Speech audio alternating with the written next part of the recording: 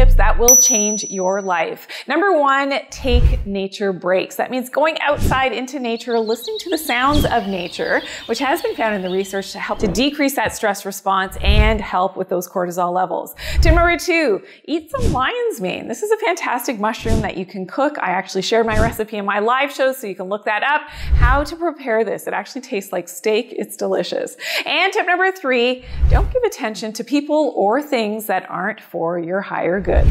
Follow for more natural health tips.